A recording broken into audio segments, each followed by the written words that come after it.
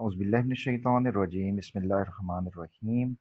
this short video, we will try to understand, uh, we will try to learn the methods, how to change the voice, and uh, we will try to understand what is the voice actually, and what are its types, and can every sentence can be changed into passivized or not, and uh, what type of question may be appeared. Before uh, telling you the rules of conversion from active to passive, it is very much necessary for all of us to understand what the real mechanism of the voice is.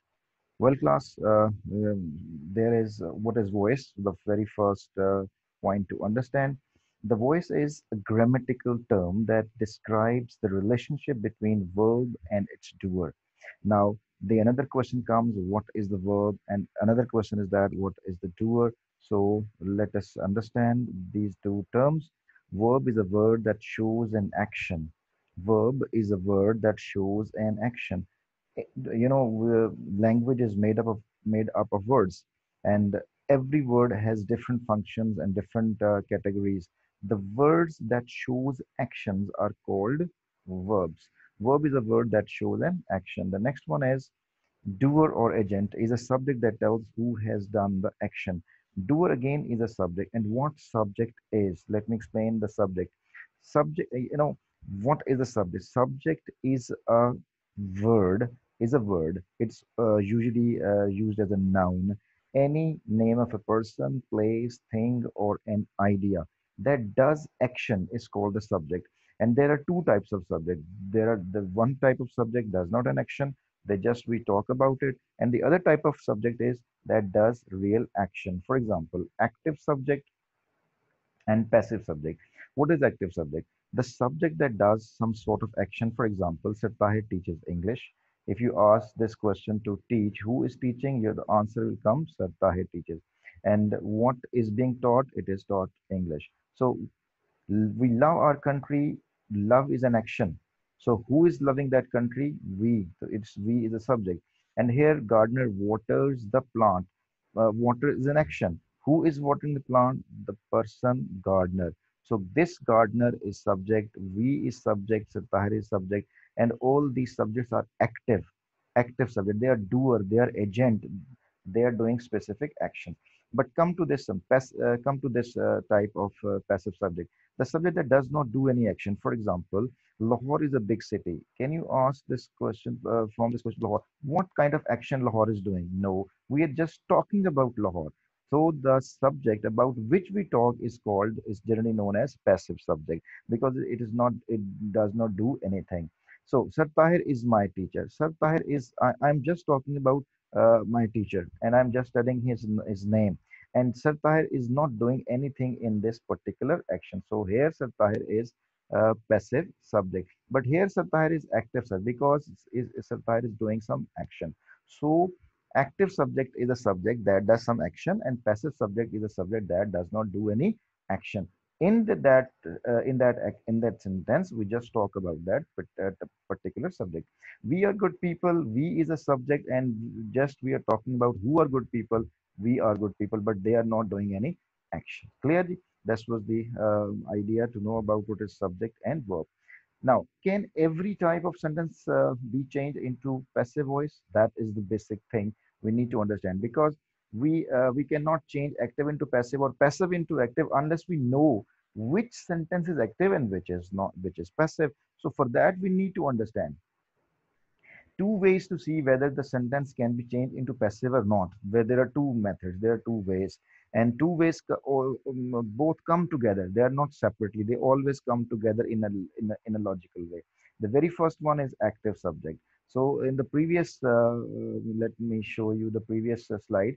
Here is active subject. And all these active subjects can be changed into passive but these passive subjects that i mentioned here cannot be changed into passive voice clear?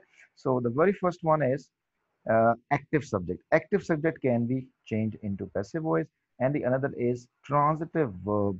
Transitive verb should be changed or can be changed into passive voice. Now another problem comes active subjects we have understood it what active subject is active subject is a subject that is doer or agent and that does does some action transitive verb what are the transitive verbs let us talk about transitive verbs Sentence with transitive verbs can be changed into passive voice. Transitive verbs, there are some verbs that are used transitively and some are used intransitively. Transitive verbs need object to complete the sentence. It means that uh, the sentence that has object, that has subject, active subject, and a transitive verb, only those sentences can be changed into passive voice. See this example. The teacher explained the issue. Explain is a verb. Who is explaining the issue? The teacher. And what type of what is being explained? The issue. It means this is subject, this is verb, this is object. So it means that we are having active verb and transitive verb because it has object after it. This, this, the students forgot the lesson. Forgot is an action. Who is who has forgotten? The students, as usual, forget. And what is being uh, forgotten? The lesson. So subject, verb, object is there. The dog eats uh, the cat. Eats the verb. Who eats the cat? The answer comes the dog, the subject. And what is being eaten? It is cat. This is object. So subject, verb, object are there. Books enable books uh, enable us to live a better life to live better life so enable is a verb who enables us the book subject and to whom it enables us is object so honesty provides satisfaction which thing provides honesty and what is provide satisfaction so subject verb object is there it means that all these sentences can be changed into passive voice here the teacher explains well the teacher explain is a verb and who is explaining? The teacher. Teacher is there. Subject, active subject is there. Verb is there, but this verb does not have object after it. That is why it cannot be changed into passive voice. The students forgot. Who forgets? The students. And what is forgotten क्या चीज जो है भूली हमने कुछ भी नहीं है तो ऑल टुगेदर का वर्ड है ये तो बता रहा है completely that is also can not be change in to passive voice the dog Yeats neatly how dog is is eating it's neatly it's answer the word how it is not giving any what it, uh, uh, this sentence does not provide us the answer of what कि क्या चीज खाई जा रही the dog eats the cat eats the meat तो फिर तो हो सकता था लेकिन अब क्योंकि how का आंसर आ रहा है लिहाजा यहाँ पे object नहीं uh, object नहीं है only those verbs can be changed into passive those verbs that have object after it so the books are treasures for knowledge. Books are what? They are treasures of knowledge. But again, are is a linking verb. All verbs that starts with all verbs that, uh, you know, the, all verbs that are called linking verbs like is, am, are, has, have, had, was, were, etc. are called linking verbs. They link, linking verbs cannot be changed into passive. Honesty is again and is is a linking verb and it does not have object uh, intransitive this is intransitive so it cannot be changed into passive voice okay it's clear now uh, we are having this uh, slide once again the teacher explains all these sentences can be changed into passive voice to change into passive voice because because it it uh, completes and uh, it fulfills all the uh, provided conditions. Number one what is the condition? Active subject. Active subject. And what do we mean by active subject? Means doer. Doer. Doer means the person or the thing that does some action or the agent.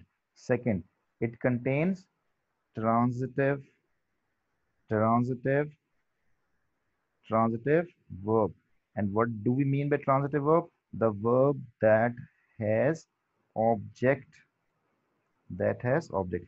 And how you can get this thing? How you can come to know that whether this uh, uh, verb has transitive or onto just giving you one example and after that we're going to end it. Just ask this question. Who does what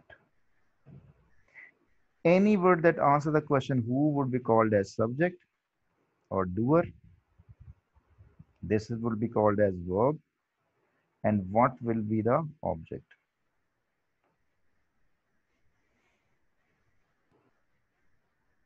The cat.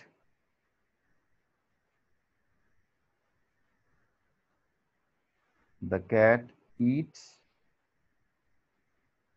meat